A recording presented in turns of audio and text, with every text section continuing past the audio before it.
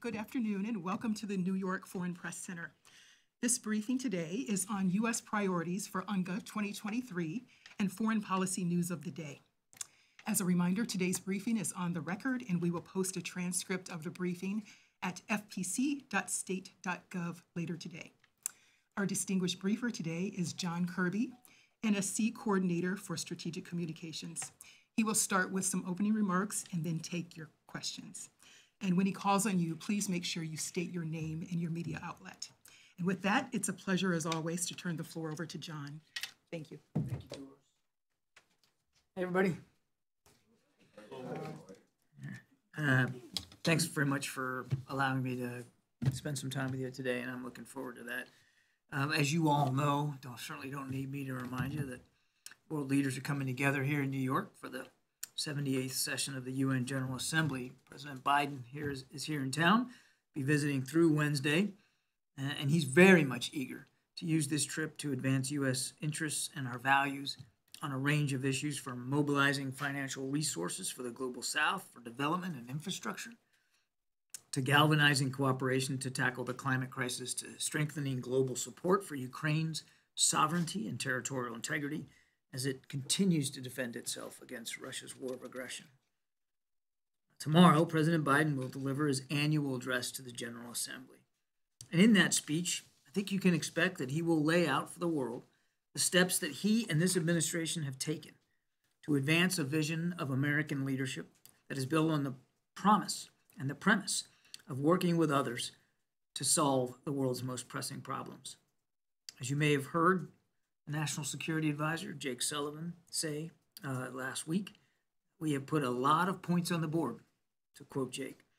And the president will talk about how those steps that he's taken uh, has helped contribute to a larger foreign policy vision. In addition to speaking before the General Assembly, the president will also have a chance to meet with UN Sec- Secretary General uh, Mr. Guterres, and they will discuss pressing global issues, including mobilizing additional resources for sustainable development, combating climate change, and upholding the UN's foundational principles. President will also have a chance to meet with the presidents of five Central Asian nations Kazakhstan, the Kyrgyz Republic, Tajikistan, Turkmenistan, and Uzbekistan. This will be the first ever C5 plus 1 presidential summit. This inaugural summit will allow for the leaders to discuss a range of issues from regional security to trade and connectivity to climate change, of course, and to ongoing reforms to improve governance and the rule of law. The president will also host a traditional reception, of course, with world leaders, where he'll have the chance to engage with dozens of heads of state and government from around the world. Then on Wednesday, the president will have the opportunity to hold a bilateral meeting with President Lula of Brazil, as well as to join him in an event with labor leaders from Brazil and from the United States to highlight the central and critical role that workers play in building a sustainable, democratic, equitable, and peaceful world. Also on Wednesday, President Biden will sit down with Prime Minister Benjamin Netanyahu of Israel to discuss a range of bilateral and regional issues focused on our shared democratic values, the same democratic values that we share between the United States and with Israel, and a vision for a more stable and prosperous, and quite frankly, an integrated Middle East, as well as to compare notes on how we are effectively countering and deterring Iran. We will have more information, of course, to follow on the president's engagement on Wednesday, but just allow me to finish with this. The president is heading here uh, into the UN General Assembly uh, uh, with the United States in a, from a, in a position of strength uh, and confidence, with strong allies, new partners, a vision for institutional reform at the UN and at the World Bank and elsewhere, with initiatives to deliver on infrastructure, on health, on climate, and other global public goods. We come here again with the wind at our back, but understanding that uh, the work of achieving the president's foreign policy vision is going to take a concerted effort, not just continued effort by the United States, but a continued effort collaborative with our allies and our partners. And when that, we can take some questions. Ma'am?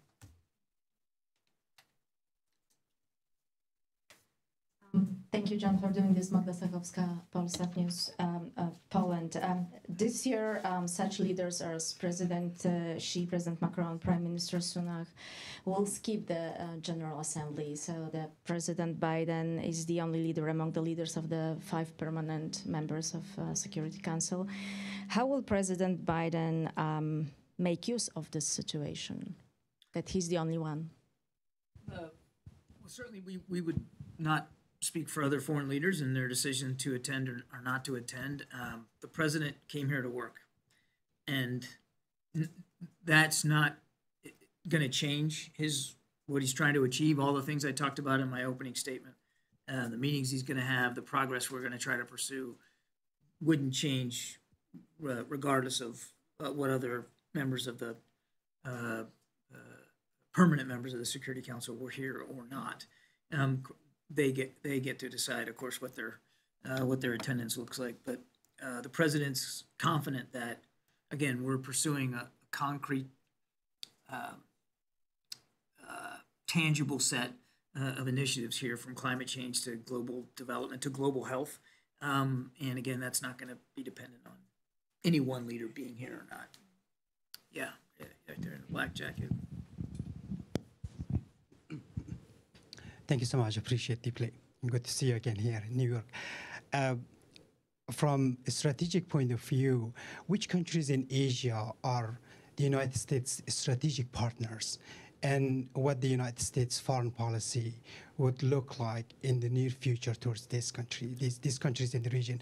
Also, my second part of question is, what is the United States foreign policy towards Afghanistan, as so many people, including the U.S. lawmakers, say that the current situation in Afghanistan is the legacy of your administration, Biden administrations? Thank you. Uh, look, there's an awful lot there. I'll try to keep this crisp. Uh, first of all, uh, the, the president has prioritized the Indo Pacific region since the very, very beginning of this administration. The first two leaders that he had to the White House were uh, the leaders of Japan and, and South Korea. And you just saw a trilateral summit at Camp David a few weeks ago where we really put to paper uh, an emphasis on increased trilateral cooperation between uh, our three countries. That's point number one. Point number two, I think a lot of people forget that five of the seven treaty alliances that the United States has are in the Indo Pacific region. Five of seven. So we have significant uh, national security commitments, uh, not just to individual countries, but to a multilateral framework uh, of nations uh, in the Indo Pacific. Um, number three, in addition to those five treaty alliances, uh, we are participating in, encouraging, and gendering and um, and supporting uh, a range of other, as I said, multilateral arrangements like the Indo-Pacific Quad.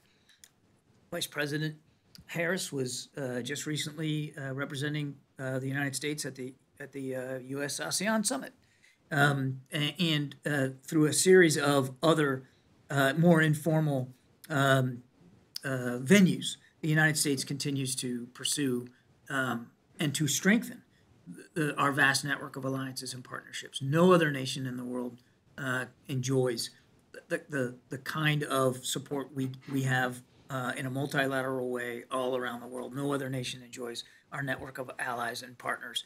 Um, and the president has really put a premium, and you're going to hear him talk about this tomorrow, really put a premium on revitalizing those alliances and partnerships, clearly in the Indo Pacific, but also around the world. I mean, NATO is now bigger and much more relevant uh, than it was just a couple of years ago.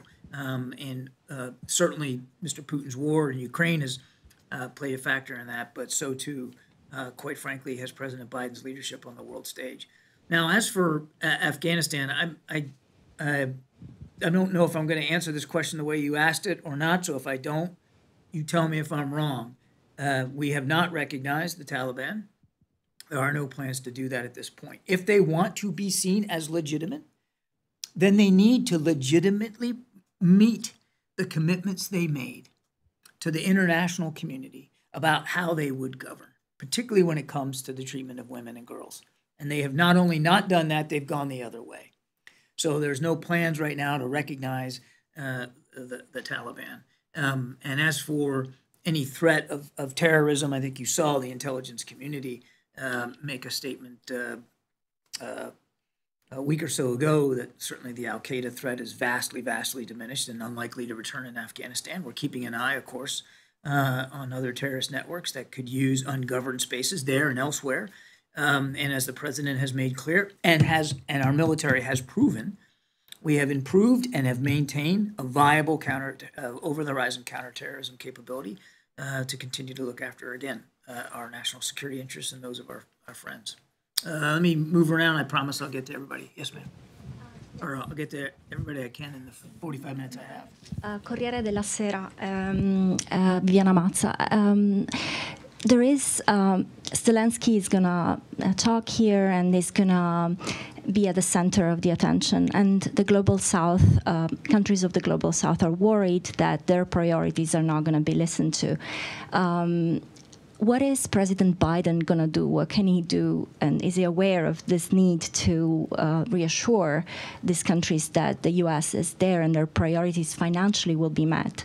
And second thing, Sullivan met with Wang Yi in Malta, um, and Wang Yi went to to see Lavrov and talked about strategic cooperation. Has anything changed after Sullivan met him um, in terms of Biden Xi seeing each other, but in other terms as well? Thank you. On the second question, not that I'm aware of, no, we still don't have a scheduled meeting between President Biden and President Xi. As you heard President Biden say many times, he looks forward to having another conversation, another uh, another meeting with President Xi, and that'll happen at the appropriate time and in the in the appropriate amount of space. We just we're just not there yet. What has happened in recent months, and what we hope will continue, and Jake's trip to Malta is an example of this um, is keeping the lines of communication open, um, getting them open again and keeping them open. So, so we've had Secretary of the Treasury, Secretary of Commerce, Special Envoy for Climate John Kerry, um, certainly Secretary Blinken, the Secretary of State, uh, uh, kind of kicked it off uh, with a trip to, to Beijing. Um, and those have been productive conversations on key issues, economically and diplomatically, that, that, that we're facing. Now, what, what hasn't happened is the military to military lines of communication are still not open. And uh, we still want to pursue an avenue to do that because that's where the tensions uh, in and around uh, the Western Pacific uh, uh, are at risk of miscalculation. And miscalculation could lead to um, to decisions that neither one of us want to see happen. Nobody's looking for conflict here, so we want to see those military to military lines opened up. Uh, but there's been a fair amount of dialogue and communication, and the president has really put a premium on that. He'd like to get back to a point uh, where we were in Bali at the uh, at the G20 last year, when the two of them had a chance to meet and talked about how to responsibly manage this relationship going forward. So again, uh, things are, are moving in a better direction, uh, and the president's um, uh, convinced that it's that it's important that we continue to have a sense of dialogue. So uh, now, as for Mr. Uh, you know, Mr. Wang Yi's visit to, to Moscow, they, they can talk about that and what their, you know, what their uh, what their meeting agenda is going to be all about. Uh, but for us, it really is a, a, a matter of keeping these lines these lines open. So uh, you know, good set of discussions there with uh, with Jake and and Wang Yi. Um, your first question about uh, President Zelensky. I'm sorry, and, that, and it was it was Global South. So, uh, um, it's a great question, and I think you're certainly going to hear the president talk about the Global South uh, in his remarks tomorrow, and talk about all that we've been doing in this administration to pay attention to uh, the global health the economic, um, the food insecurity concerns, um, and the investment needs, infrastructure investment needs of the global south. It was President Biden who spearheaded at last year's G7 uh, this idea of the, the program for global investment in infrastructure, PGI, we shortened it to. Um, and that is up and running, and the United States continues to contribute to that, and so and so have other nations. Um, we have uh, at this at this last G20, we announced uh, a ship and rail corridor that will connect India uh, to Europe through the Middle East and and, and Italy. Um, uh, so he's very much focused on meeting the needs and addressing the concerns of the global South, and it's been a priority of uh, for him since again since day one. You will hear him talk about this uh, tomorrow. One of the other things that he spearheaded at this G20, uh, the most recent G20 here a couple of weeks ago, and I think you'll hear him talk about again tomorrow, is the need for reform of multilateral development banks to provide lower and middle income countries high quality and more transparent alternatives to seek financing and support for in- infrastructure and investment, uh, economic investment across the board, but largely for infrastructure. So we want to make sure, and, and he has asked Congress for additional funding, uh, several billion dollars that we can provide to the World Bank. Uh, that will hopefully encourage other like contributions by other nations, which could lead to more than $20 billion worth of available financing from the World Bank for the Global South. So there's been an awful lot of focus by President Biden on the Global South. And again, I think um, I'm not getting too far ahead of my boss in telling you that he will fully be prepared to talk about that uh, uh, tomorrow. Um, I mean, take a look at on Wednesday. You know, when he meets with President Lula, they're gonna they're and labor leaders to really talk about how we can improve workers' lives. Um, again, in places like the global South, better compensation, better benefits, safer work environments, and working conditions. Um, all those things are, I think, are a testament to how seriously the president takes that challenge. I'll say one more thing on the global South, and then I'll shut up. Um, a lot of the challenges that they're facing, not all, I'm not suggesting all, but a lot of them have been exacerbated, if in if not caused, by Mr. Putin's war in Ukraine. Now the Russians would have you believe it's the West's fault. That, they're not at fault. They're never at fault. But they are. The food insecurity, the economic problems, um, uh, a lot of that has been caused, the inflation that many of these nations are facing. Um, a lot of that has been caused by Mr. Putin's war in Ukraine, and particularly when it comes to food insecurity. And now they've, of course, just recently decided not to extend the, the Black Sea Grain Initiative. So who's gonna who's gonna pay the, the highest cost of that? Obviously, the Ukrainian people continue to pay the highest cost, but uh, it will also be borne by lower and middle income countries in the global south. Did that answer your question? Yeah. Sorry, that that answered probably questions you didn't even ask me. Yeah, in the blue shirt there. Uh, thank you, sir. I have a short country-specific question. Robert Pardos from Try Slovenian Press. short no, you can be long as much as you want. Robert Pardos from the Slovenian Press Agency. Um, are you happy with uh, Slovenia's election to the Security Council, and do you have any issues, questions that you expect the closest uh, coordination, cooperation with Slovenian Security Council in the next two years? Well, we certainly uh, applaud their ascendancy and uh, look forward to working with Slovenia um, uh, as they take the mantle.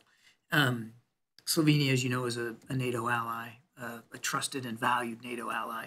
Um, we have already been uh, working closely with uh, Slovenia with respect to the war in Ukraine and trying to do what we can to support Ukraine. And um, I have no doubt that that level of cooperation and communication with Slovenia will continue. Certainly, when it comes to um, uh, supporting President Zelensky and the Ukrainian armed forces as well as the Ukrainian people. But there'll be a spate of other issues. I have no doubt that we'll want to continue to work closely uh, with Slovenia from climate change to economic development and infrastructure improvement um, uh, in lower and middle income countries, global health, uh, cyber and artificial intelligence. There's a, a range of issues that uh, we look forward to working with.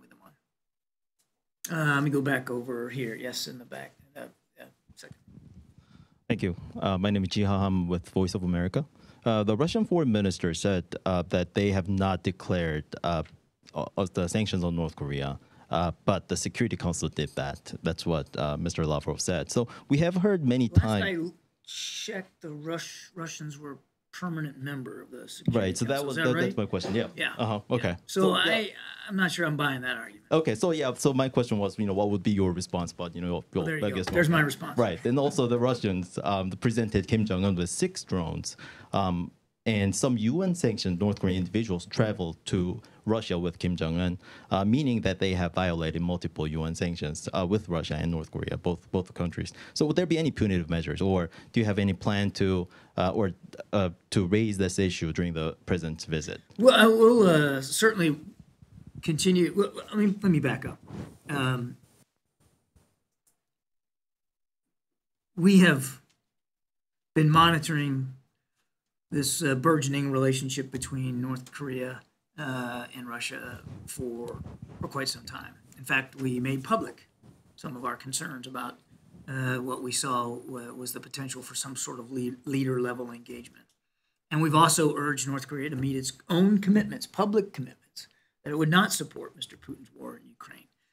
Um, we saw the comments coming out of Kim Jong Un's meeting, comments coming from the Kremlin that there was no deal announced. We'll we'll take that with a grain of salt and we'll watch. We'll continue to monitor it as we said we would. Um, any deal would be a violation of UNSC resolutions, resolutions that, as I said earlier, the Russians signed up to. And we will certainly continue to talk with our partners here at the UN um, uh, about uh, how we might work together uh, to uh, to hold uh, both sides accountable should they should they move in that direction. Uh, over here, back there with glasses, there, red tie. Yeah. Thank you. Uh, Paolo Mastrolilli with the Italian daily La Repubblica. You said that the president will encourage a revision of the architecture of the Security Council. Uh, is he thinking of proposing new uh, permanent member with veto powers for the Global South? Uh, the president last year when he was here, and I think he'll make the same case this year, would like to see a more inclusive um, Security Council, both permanent and non-permanent. Um, I, don't have anything to announce or speak to today in terms of how, how uh, what the mechanics of that would look like, but in general, the president believes that uh, the Security Council should be more inclusive of more nations around the world. More voices should be heard, uh, including from the global south. Uh, let me go back over here in the back there, the blue. Yes, uh, Sarah Canals from uh, Cadena Ser, Spain. Um, just to follow up on China, I understand there's a meeting between uh, Secretary Blinken and Chinese Vice President shortly here in New York. If you could provide any details on that, Uh, was it already scheduled before yesterday's um, meeting in Malta? Just a little bit of, of background here. I'm afraid I'm not going to be much help on that one. Um, I'd refer you to the State Department. I, I, I don't know when that I don't know when that visit was was scheduled, and I'm I have no doubt that uh, Secretary Blinken's team will provide a readout for you of what they discussed after it's over. I'm sorry I can't be more help on that. Sure, go ahead. Wait, wait for the microphone. Oh, thank you, thank you. Yeah, tell me who you are. Uh, Diana Castellan from Caracol Radio, uh, Colombia. So President Petro, Colombian president, uh, said uh, recently, yesterday, that uh, members of the administration, the Biden administration, uh, requested Colombia to build up some sort of wall in between Colombia and Panama to reduce migration, illegal migration up to the United States. Is that correct? And also, I just wanted to know if there's uh, any information about uh, how this could actually reduce uh, irregular migration to the United States.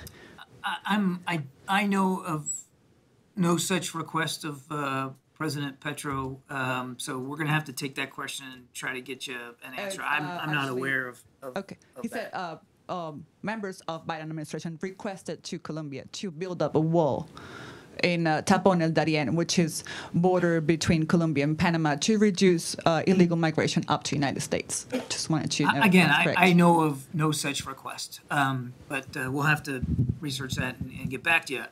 Um, what I would tell you is that we continue to work with partners in the region, in the Western Hemisphere, to do what we all can do to stem the flow uh, of, of migration from south to north, driven by, of course, smugglers and human traffickers, and you know this is this illegal pathway, which is why we are working with so many countries in the region to uh, develop uh, physical locations where migrants can go to pursue legal entries, at least into the United States, of course, and to reduce their risks of making that dangerous journey. Um, you know, before they even you know b- b- before they even get started. So we're looking at all kinds of ways to address that, the legal migration, and we are working with uh, many nations to do that. But I am not aware of any requests for some sort of wall or physical barrier. Um, and so I we'll, we'll owe you a better answer on that. But uh, that has not been, aside from in, improving security at our border. And the president has asked Congress for more funds and more resources for the border uh, patrol. Uh, aside from, uh, you know, trying to again boost our resources at, at our border. Again, I know of no such request uh, to do anything like that. Did that answer your question? Okay, you're smiling, so that's a good thing. Ma'am in the back there. Yes, ma'am. Thank you. Uh, Yoshita Singh with Press Trust of India. You've referred to President Biden's visit for the G20 uh, summit in Delhi very recently. Taking that forward, uh, this week at the UNGA, can we expect anything bilaterally between India and the US on uh, multi or during a forum such as Quad to take forward the vision of uh, the Indo-Pacific and Global South priorities? Thank you. I, I know of no bilateral discussions on uh, on the president's agenda with uh, with the Indian delegation here. Just had a chance to spend quite a bit of time uh, with Prime Minister Modi bilaterally, in addition to the G20 agenda. So I'm not aware of any specific India-focused meetings on his uh, on his agenda while he's here in New York. But again, uh, we he, he came away from the G20 uh, feeling very positive and, and, and optimistic about the direction. I mean, there was an awful lot of great work done uh, at the G20, and we're all grateful to Prime Minister Modi for his presidency, for India's presidency of it, but also for the way the agenda was executed. It was a very, very productive couple of days. Let me go over here. Uh, no, I already went to the back row. You, you right there. Yeah, Okay. yeah. Wait, wait for the microphone. Yes. You guys, you got to remember the rules. So this is Juan Silva from W Radio Colombia. Uh, just a short question. Colombia had a, an increase of illicit crops in coca recently. Uh, will there be more uh, resources for security from the United States to Colombia during uh, Petro's administration, in spite of, for example, the growth of illicit crops or other problems of security? Are you asking me, we- can he, will there be more resources applied by the United States? Yes, and- Specifically on, Or which is the state of art of the relation between the United States and Colombia in terms of security, of support? well, look, I mean, we, uh, we commend President Petro's efforts to expand the scope of peace uh, in Colombia. Um, and uh, the Colombian government in general has taken many steps in recent years to do exactly that, to expand peace. Um, we certainly welcome the news of the six month ceasefire that was uh, agreed uh, last month uh, between the government uh, and the ELN. Um, we remain skeptical, uh, to be quite honest with you, uh, about uh, the ELN's intention to to adhere to the terms of of that ceasefire. But but we did welcome the news of it. I mean, that all of that is of a piece of President Petro's desire to really, as I said, expand the scope of peace there. Um, I'll also tell you on on on uh, drug trafficking. I mean, we're we're going to maintain a strong interest, of course, in preventing impunity for drug traffickers uh, in, in general and for terrorists. Um, and of course, we're going to uh, continue to work with the government to, to bring traffickers to justice. That's the best way I can answer that question. Um, yes, ma'am. You in the the red scarf there, black jacket. Thank you so much. I am Shinyoung Park from Korea Economic Daily. Uh, at this time, what are the uh, conditions of Biden administrations uh, for lifting restriction, uh, restrictions for Chinese semiconductor? Lifting the restrictions Restrictions for Chinese semiconductors. So let me just take um, let me take that question a little bit higher. And one of the things that we certainly learned during the uh, the pandemic was the fragile nature of our supply chain, and part of that we saw in the field of semiconductors, which is why uh, the president is working hard to shore up our supply chain. Um, uh, as he says, he, he wants the United States to be the beginning of it, not the end of it. Um, and it's also why we've taken action through an executive order not re, uh, not long ago um, uh, to uh, uh, restrict uh, investments, for, uh, uh, U.S. investments in certain industries in, in China for our national security purposes, and some of that does include microelectronics and semiconductors. Um, but, and this is an important but, as my mom used to say, the most important part of any sentence is what comes after the word but. But it is limited to national security interests. It's not some complete ban, and um, uh, we're not interested in decoupling completely from the Chinese economy. Um, uh, we know there's a level of interdependence there. Um, so this isn't about decoupling. It is about taking the risk down. Um, and some of that risk is is in the semiconductor field because there's a, a national security component to it, and the president wants to make sure we can maintain that. So it's a combination of supply chain resilience and national security needs, and that's what's driving our decisions. I don't hope that answers your question. Yes, ma'am.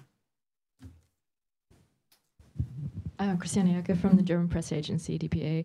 I have a few quick questions about the visit of uh, President Zelensky here. Um, first, will there be an informal visit of the president with Mr. Zelensky before they sit down in DC on Thursday, like here in New York? Also, will the president join Mr. Zelensky at the Security Council meeting on Wednesday? And do you have any more on the Washington leg of the trip? Will there be an address? Uh, to will he address Congress or will it just be a meeting with um, congressional leaders? And just an overall question: Do you? Um, How many questions is this? It's just very quick ones. This is like 17. no, those were three very quick ones. Sounds and like the overall ones is: Do you expect him to strike a slightly different tone that he's visiting now? Maybe stressing more the gratitude part of. Um, what, Zelensky? yeah, the gratitude for for the support, given all the like the growing hesitancy and, in ongoing support in parts of the political spectrum. Okay, so uh, on 1A, uh, I'm not aware, I- I'm not tracking any meeting between President Biden uh, and Mrs. Zelensky. I'm, I- I'm not, I I don't believe there's an engagement there uh, uh, between the two.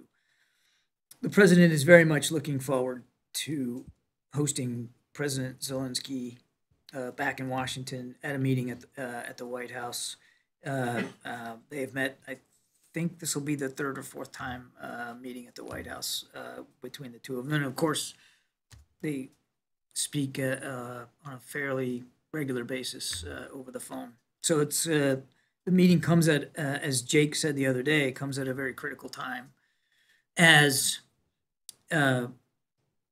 the Ukrainians continue to make progress in their counteroffensive, uh, as Russia continues to reach out to rogue regimes like North Korea for support. Um, and as the international community continues to gather, as they are in Germany this week, uh, the, the Ukraine Defense Contact Group uh, to discuss ways that uh, we can continue to support their forces in the field. So it comes at a critical time. The president's looking forward to hearing from President Zelensky about their counteroffensive and about the progress they're making, sort of his assessment of what the battlefield looks like. Um, but he also looks forward to making it very clear to President Zelensky that the United States, when we say we're with them for as long as it takes, we mean it. Uh, and that he fully expects that that support will continue. Now, it is true that President Zelensky uh, will be visiting with members of Congress up on Capitol Hill, which, uh, again, we think is a very useful exercise. It's important for uh, members of Congress to hear directly from President Zelensky about all the same things that President Biden will hear from him. Um, I can't speak, nor would I, for President Zelensky and what he intends to say specifically or the tone in which he intends to deliver it. That's really for him. But I do want to address one thing that you you just kind of briefly mentioned the, the you know the gratitude. President Zelensky has continually, continuously, publicly and privately expressed his gratitude for everything that this administration is doing to support Ukrainian forces in the field, as well as the support he knows has come from members of Congress and the American people who elected them in the first place. I would, I, I, don't think I'm going out on a limb here to say that we can expect that President Zelensky will express that gratitude again, as he has consistently and as uh, we know he uh, really feels right down to his core. May for Ukraine. Sure, go ahead. Oh, thank you, John. Dmitry Anopchenko, Ukrainian television DC correspondent. Uh, it is one more reason to be grateful to America. It's uh, the new capabilities uh, United States provided to my country already and expected to provide. I know it's in, not in your power to announce something ahead of the president. So let, That's yep. good way so, for me to get fired. Yep. So let me keep it this way. May one expect that the new package for Ukraine will be announced or provided uh, during this day or during the meeting day in Washington? Again, I'm not going to get ahead of my boss, uh, uh, uh, but what I would tell you is that we have continually, on an almost regular basis, provided additional security assistance packages to Ukraine. I mean, in terms of drawdown authority, this is material that comes off the shelves from the Pentagon. Um, there, you know, we are announcing those, you know, almost every couple of weeks. So um, I think you can, can you should expect to continue to see additional security assistance packages for Ukraine. But what's in the next one and when's it going to get announced and who's going to announce it? I'm going to leave that uh, uh, for uh, for others to speak to. But what President Zelensky and, and I know I don't need to say this because he knows this, but as he comes here to New York and then to D.C., he should have and we want him to have every expectation that additional security assistance will be provided by the United States.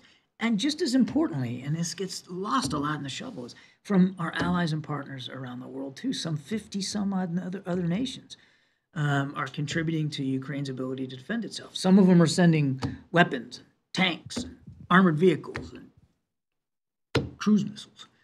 Uh, others are providing financial assistance, but um, it's pretty clear to President Biden that the uh, international community really continues to to coalesce and uh, in, in, trying to support Ukraine in the field, and President Zelensky um, should feel good about that support and that that support will continue. Yeah. Um, yes. Sir. Thanks so much, Mr. Kirby. My name is Alan Bulkati from RIA Novosti News Agency. Do you foresee any bilateral meetings with Russian delegation at the margins of the GA high-level week?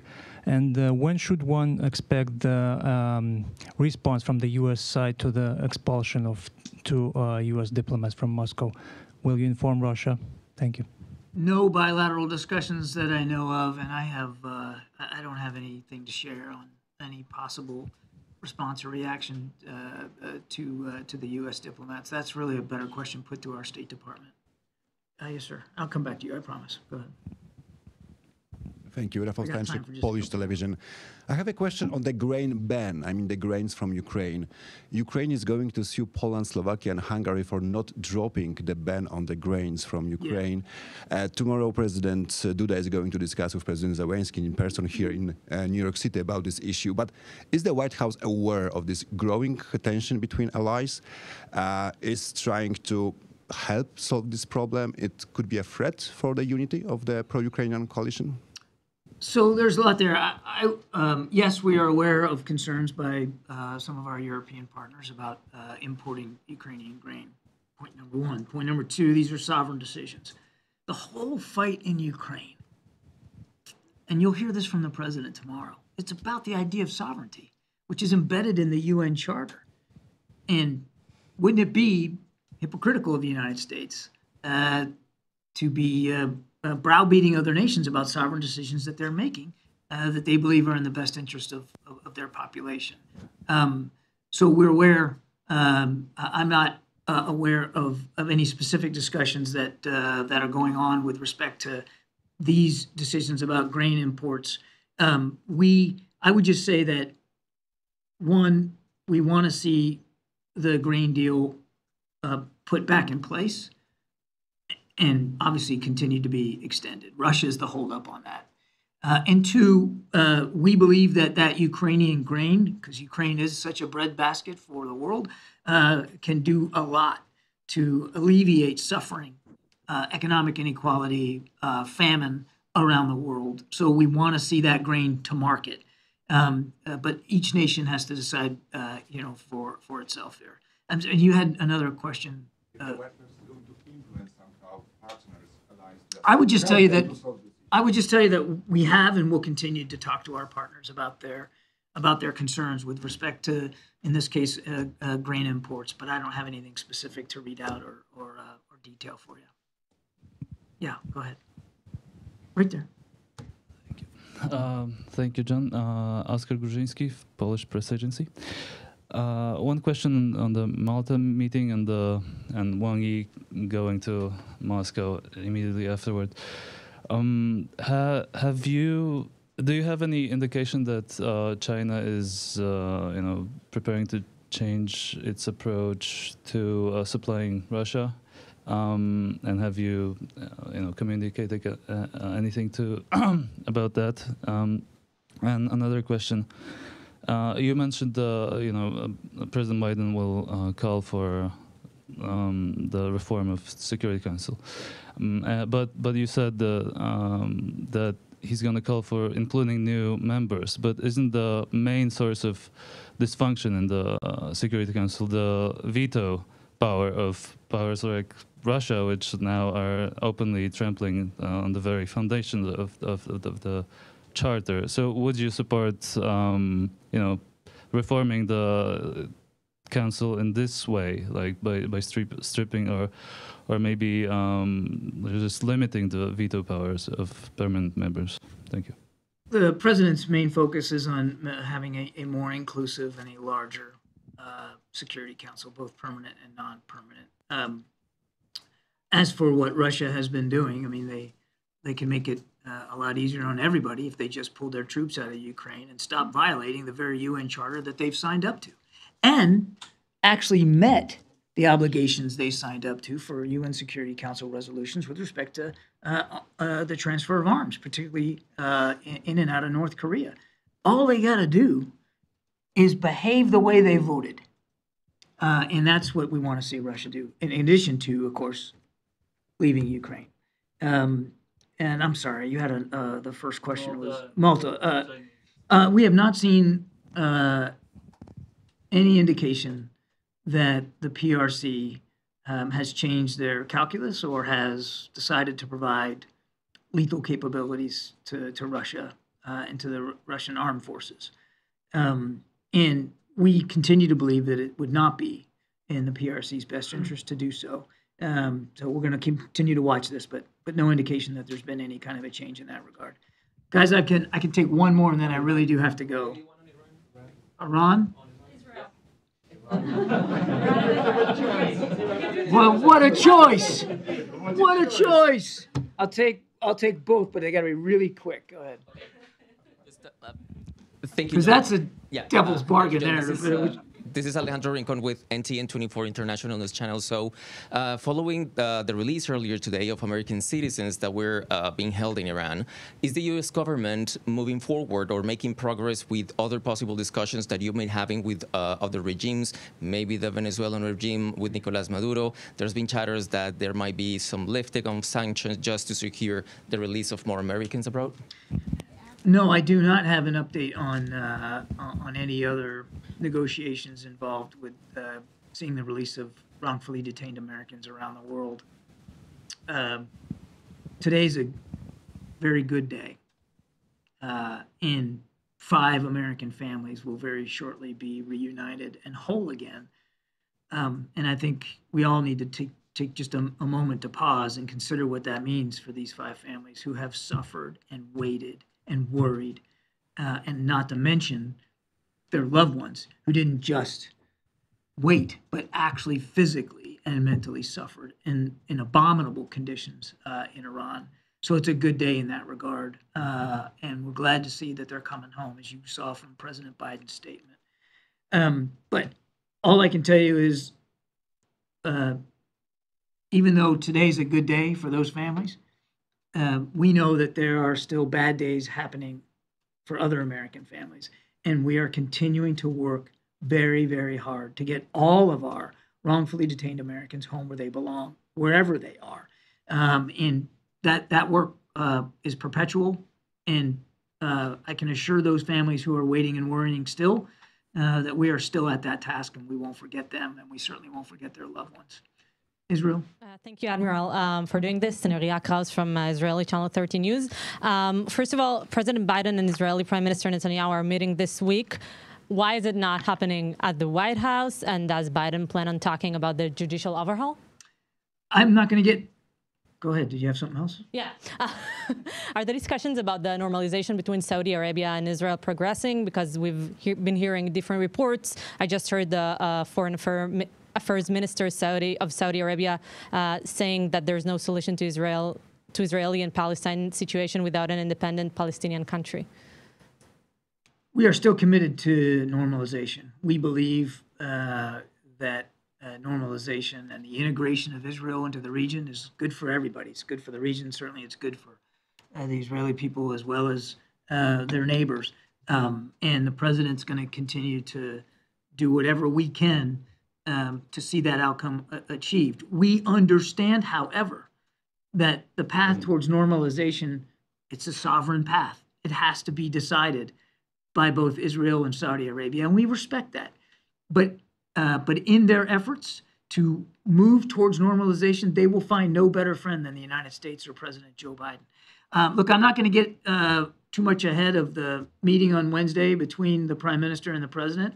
Uh, we'll let those two leaders speak for themselves when they get a chance to sit down.